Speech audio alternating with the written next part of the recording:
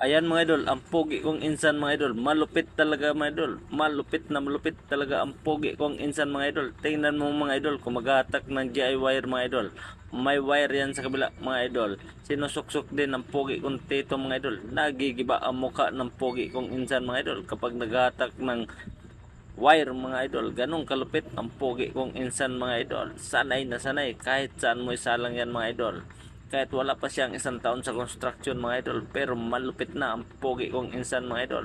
Pagmasdan mo din yung pogi nating nag ano ng GI mga idol taga rolyo napakagaling magrolyo ng GI mga idol. Malupit din mga idol yung pogi kong kasamahan mga idol. Oh, ganyan magrolyo ng GI wire mga idol. Malupit pwede pa gamitin sa susunod mga idol.